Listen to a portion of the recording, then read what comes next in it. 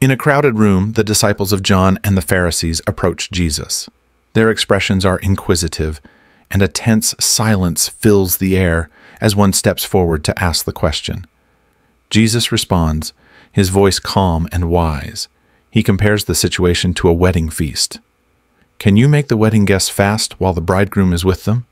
He asks, gesturing gently as he speaks. The camera shifts, and we see a vision of a groom in his wedding attire, walking joyfully among guests who are smiling and celebrating. The atmosphere is filled with happiness. Jesus then explains that there will be a time for fasting when the bridegroom is taken away. The mood in the room shifts, becoming somber as Jesus speaks of this future event. Jesus begins a new parable. No one tears a piece from a new garment to patch an old one. A visual of a torn, worn out cloak appears as Jesus gestures toward it, contrasting with a bright, new garment.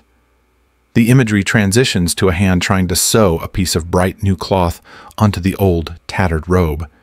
It's clear that the new cloth doesn't match or fit properly, creating an awkward patch. Jesus continues, No one pours new wine into old wineskins. A visual of old, brittle wineskins appears, with new wine beside it. The wine symbolizes something fresh, full of life, while the old skins look fragile.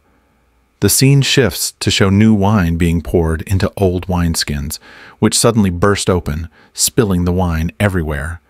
The imagery illustrates the failure of forcing the new into the old. The camera pulls back to show the new wine being carefully poured into new, fresh wineskins.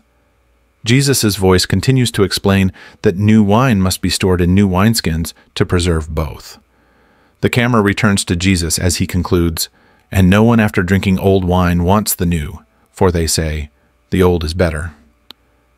He gazes thoughtfully at the crowd, leaving them to reflect on the deeper meaning of his words.